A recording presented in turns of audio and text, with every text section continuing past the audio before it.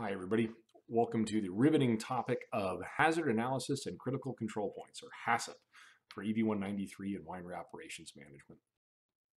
Today, we're going to talk about basically two things uh, the Food Safety Management Act and why we're having to learn this and apply it to our business, and then the hazard analysis and critical control points that we're going to have to put in place to make sure that we are not only making quality wine, but also making sure that we follow the state and federal uh, guidelines that are now upon us uh, as food providers.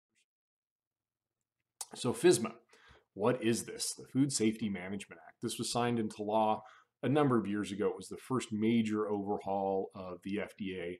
Uh, started back in 2001, but it's come a long way. So basically, it says this Subpart A, which is the piece we're going to talk about today, is that it has to be an education and training component. Each individual engaged in manufacturing, processing, packing, or holding food, including temporary or seasonal personnel, or in the supervisory thereof, must have the education, training, or experience, or combination thereof, necessary to manufacture, process, pack, or hold clean and safe food as appropriate to the individual's assigned duties and receive training in the principles of food hygiene and food safety, including the importance of the employee health, personal hygiene as appropriate for the food, the facility, and the individual's assigned duties. Additional qualifications for supervisory personnel may be required, records uh, that document this training. So you have to show that you've done that.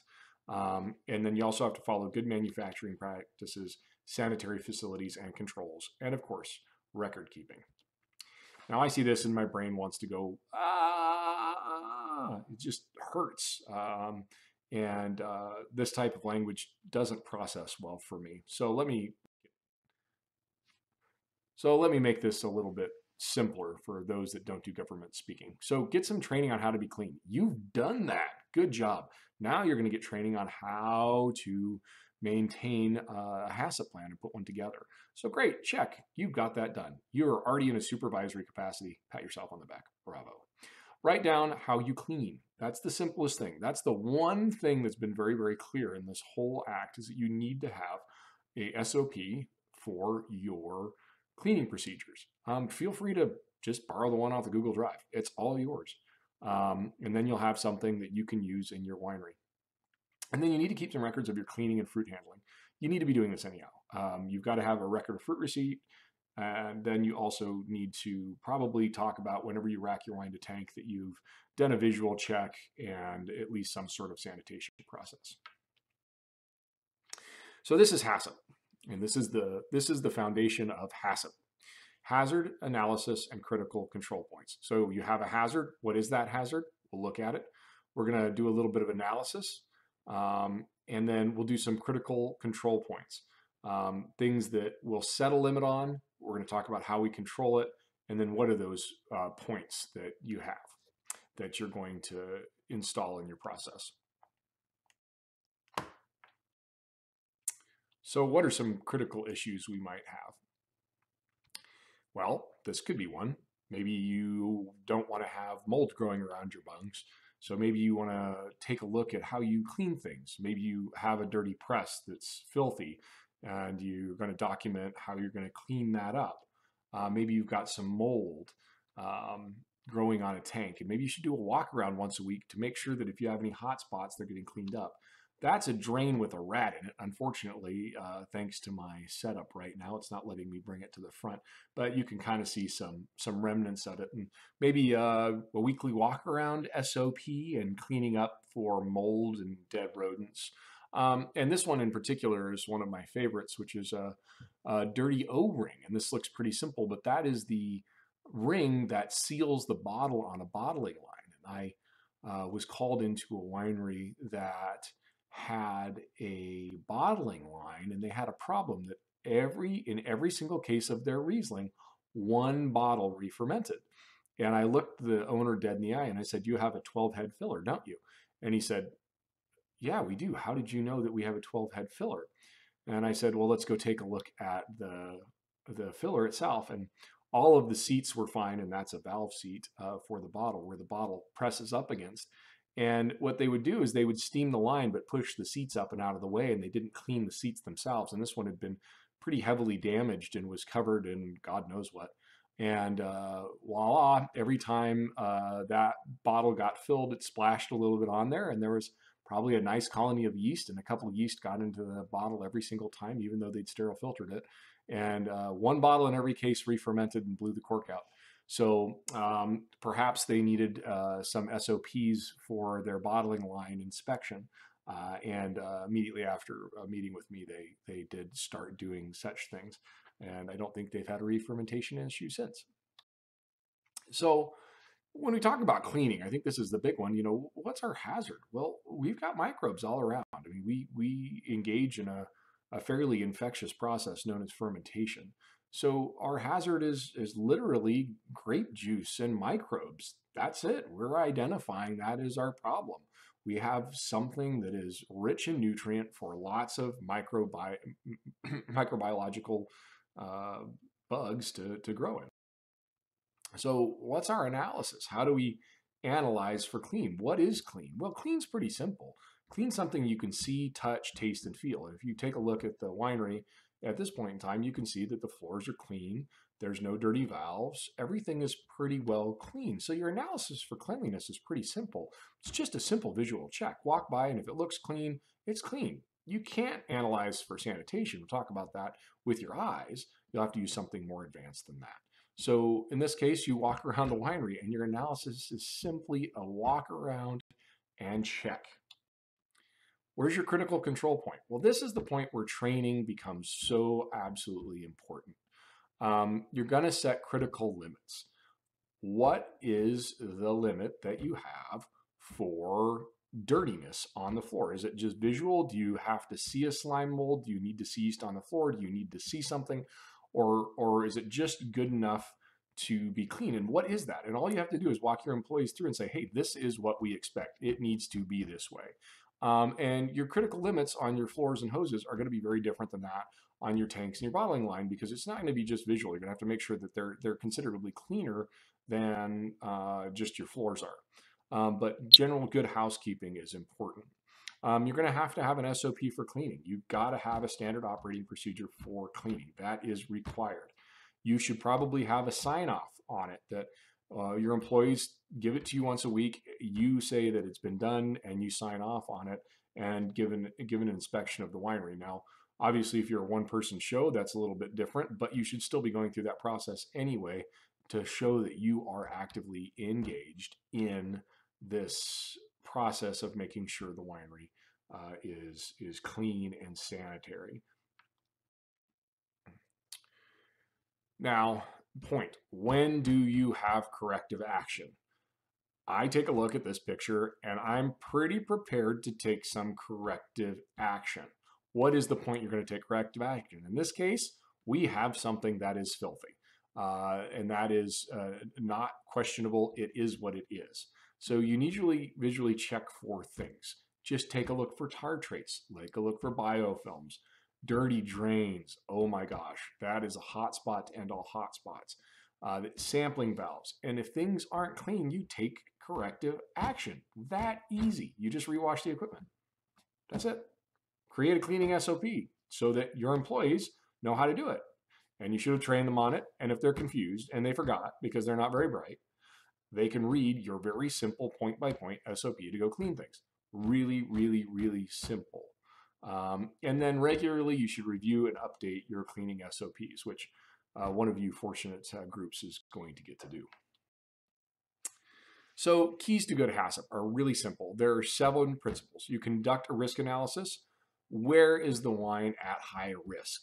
Is it at high risk when it's in the juice phase? Is it high risk when it's in the middle of fermentation? Is it high risk before it goes to bottle? Um, and then at that point, you're going to identify your critical control points. So if you have an issue, say with fruit rot, you're going to add more SO2 at the crusher, up to 100 parts, perhaps, something like that.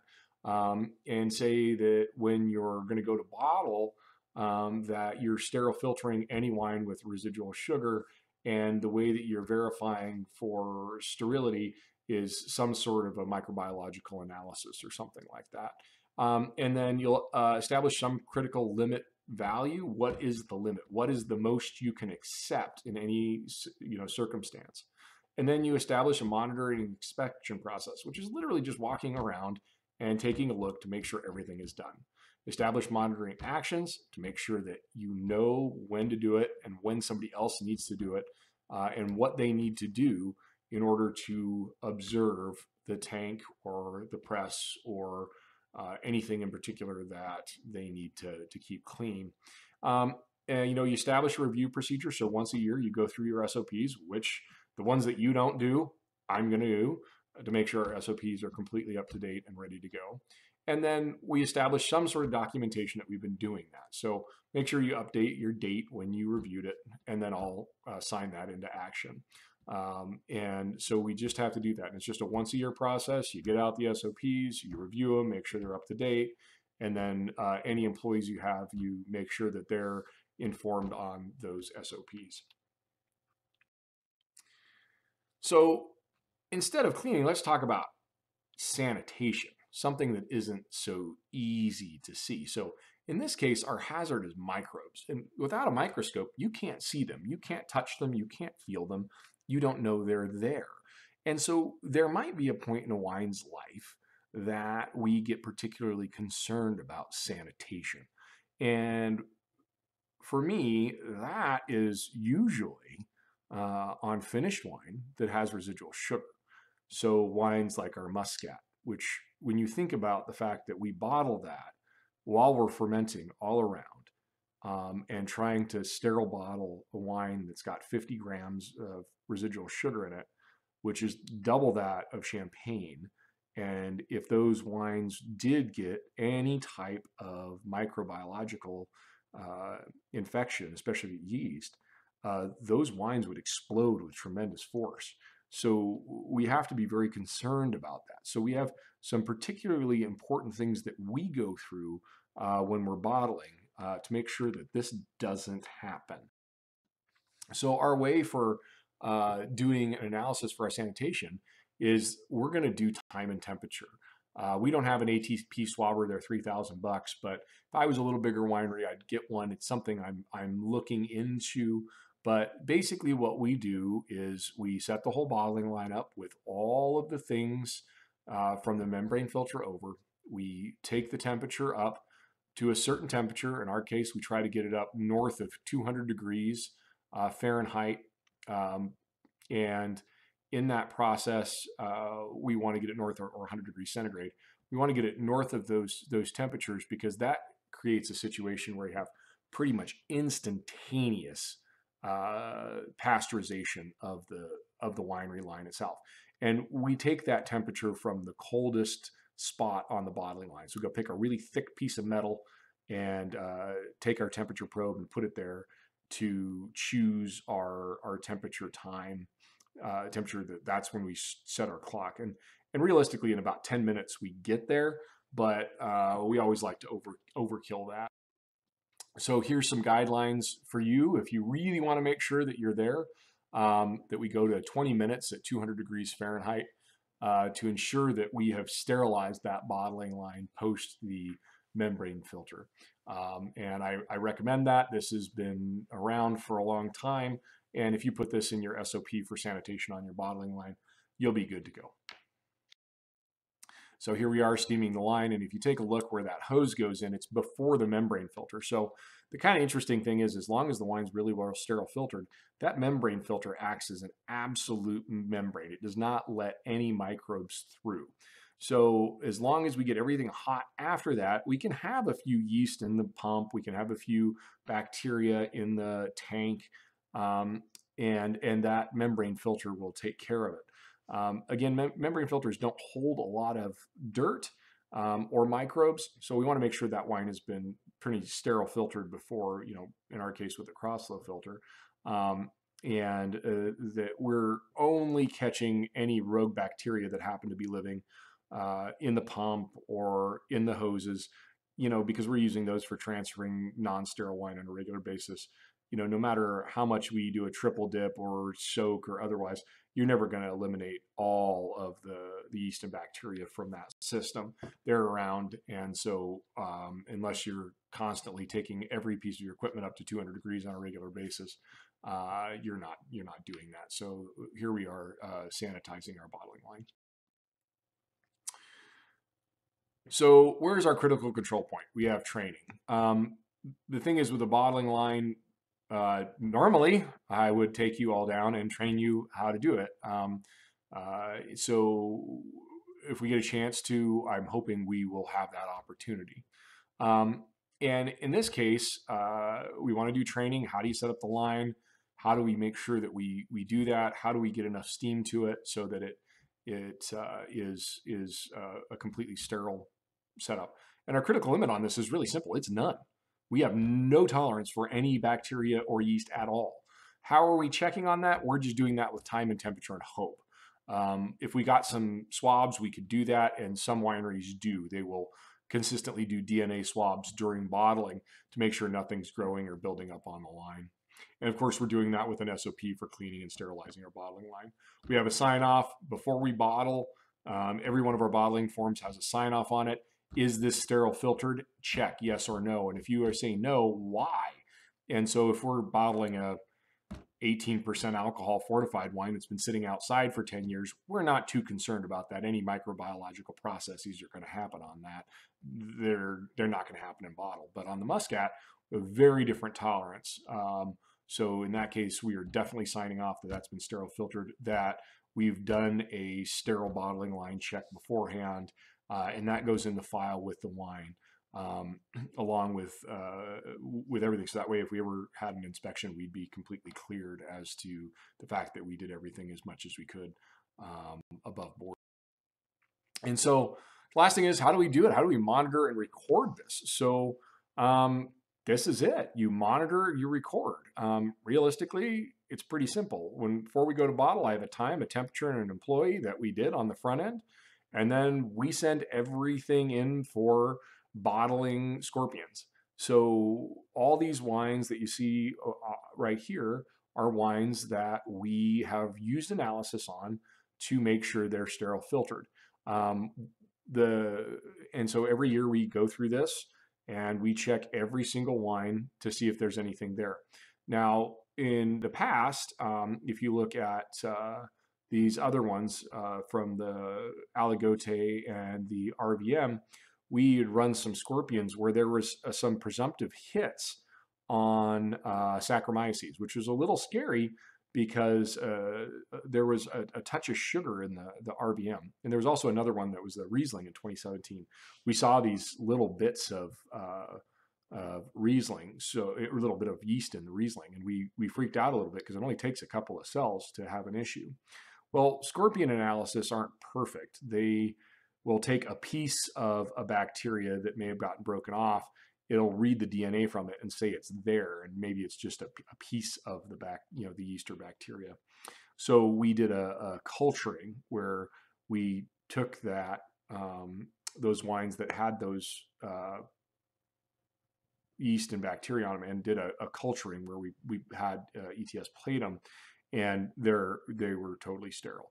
Um, so it was a, a, false positive, but it's better to know and have the records. And um, as far as I'm concerned, it's it's cheap insurance uh, when you look back on how things could go wrong. So, kind of finishing this up, having a HACCP plan is critical to the modern winery. You've got to have some sort of a HACCP plan.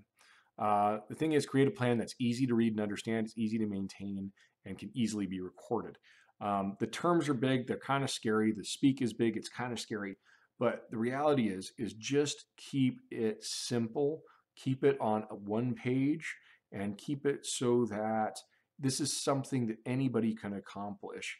Uh, depending on the size of your business, if it's just you, easy. But if you're working in a larger winery, uh, especially when you start thinking about the, the the people that work at some of these bigger wineries, in the middle of nowhere, the the caliber of employee you get, you know, may not have, um, you know, much less a, a, high school education, maybe very limited in how much they can can read, um, and so you have to keep it as is pretty, you know, elementary as possible to ensure that your employees can be trained, they can understand, and they can execute it, um, and uh, do it properly and safely. Uh, that's it. Good luck with uh, putting together your HACCP plans for your uh, business plan.